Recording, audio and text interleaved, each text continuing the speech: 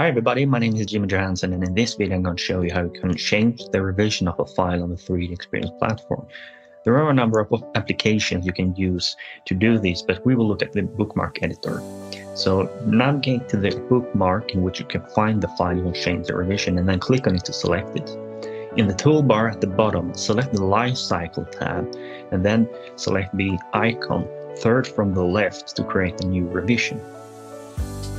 In the dialog box that appear, you can see the new revision and you can also enter a comment if you want to. Once you click revise, the file that you have selected will be updated to a new revision and you can see that in the column for revision.